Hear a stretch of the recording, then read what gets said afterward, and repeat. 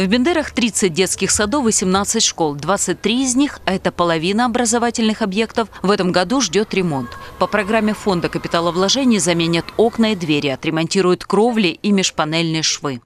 7,5 миллионов планируется потратить на ремонт кровель, совмещенных и мягких кровель. Это, в принципе, основная болевая точка всех школ. Текут, к сожалению, крыши, которые не ремонтировались от 30 лет, некоторые и более.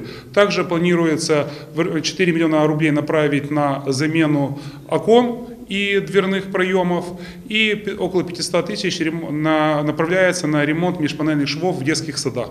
О предстоящих больших работах говорят в администрации. За круглым столом представители бендерских строительных организаций, которые специализируются на кровельных работах. Высотников сменяют производители пластиковых окон. В таком составе коллеги обычно встречаются на тендерах. Теперь все детали, все правила игры и даже требования к материалам обсуждают вместе и заблаговременно. По утверждению производителей, с которыми мы работаем, и непосредственно Технониколя, они утверждают, что наиболее, наиболее универсальный, наиболее подходящий материал для, для, э, нашего, региона. для нашего региона да, является биполь ну, на какой-либо там основе, ткань или холст. Город впервые планирует централизованно закупить материалы, чтобы подрядчики работали на давальческом сырье. Тендеры пройдут по новым требованиям, чтобы сделать процесс закупок полностью прозрачным и простым для анализа, а также упростить доступ подрядчиков к торгам. Мы определили общий а, подход к проведению тендеров, определили, по каким параметрам мы будем выставлять технические задания, чтобы были изначально одинаковые условия для всех потенциальных участников, чтобы победил, как говорится, сильнейший.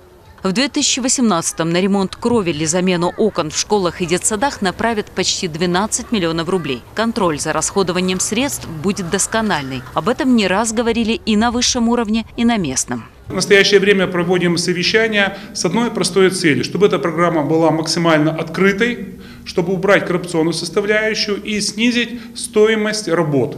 Необходимые условия для участия в этой программе – это наличие своей производственной базы, оборудования и специально обученных людей. То есть случайных людей здесь не будет, потому что нам необходимо получить гарантию минимум 5 лет на проведенные работы.